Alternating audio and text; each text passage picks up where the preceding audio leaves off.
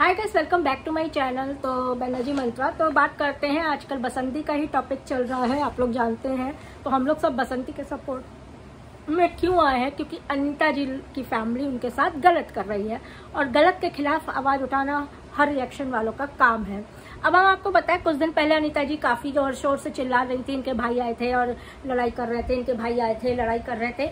वहीं अब जो है, एक भाभी भाभी करके, मामी मामी करके आई और इनके ऊपर खूब चिल्ला रही, बसंती के ऊपर। तो हम लोग ने पहले से ही सोचा कि शायद कोई होगा इनके भाई भाई क्या का।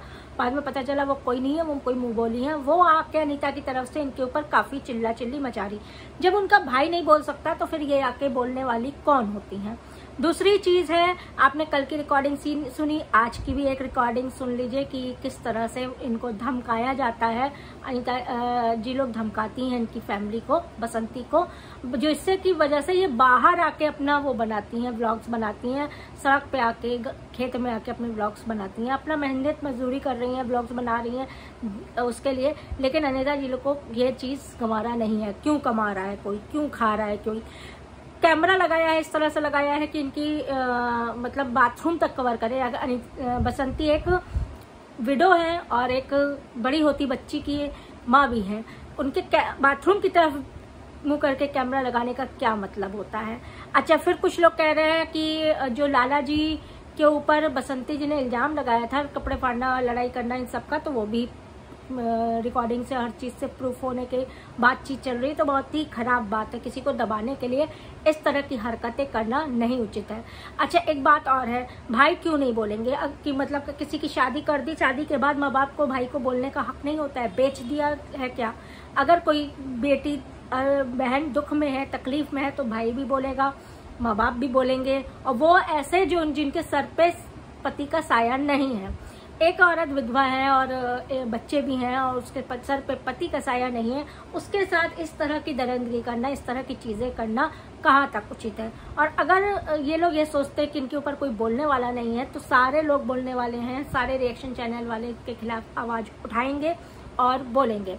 जो लोग को लगता है कि अनिता जी बहुत अच्छी हैं, बहुत वो हैं तो वो लोग एक बार बसंती का भी दुख देख ले और सुन ले।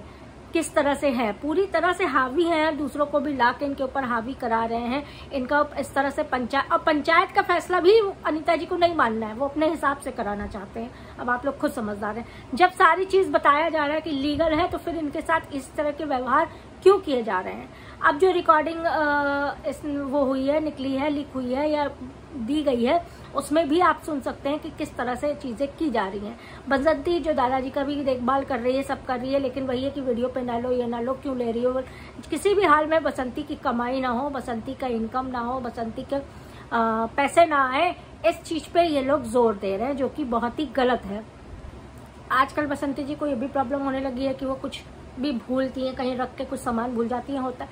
वो इतने डिप्रेशन में है, वो इतने प्रेशर में है कि इंसान एक हिसाब से सोचिए बोल जाता है। वही चीज़ उनके साथ हुई है, वो बर्दाश्त की सीमा बाहर हो चुकी है, वो भूलने लगी हैं।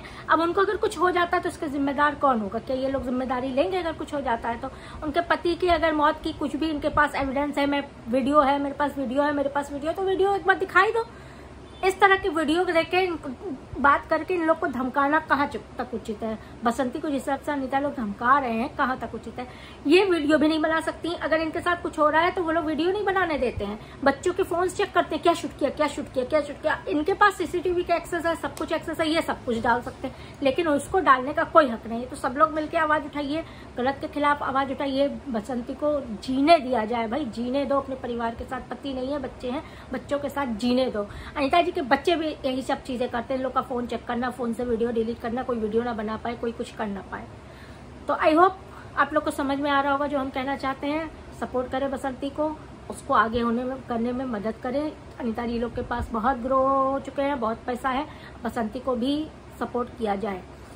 आप लोग की क्या राय इस मैटर पे, हमें कमेंट सेक्शन में ज़रूर बताइएगा। नेक्स्ट वीडियो के लिए मिलिएगा। तब तक के लिए वीडियो लाइक कर दीजिएगा। अभी तक चैनल नहीं सब्सक्राइब किया तो सब्सक्राइब कर दीजिएगा। कॉमेंट में अपनी राय ज़रूर बताइएगा।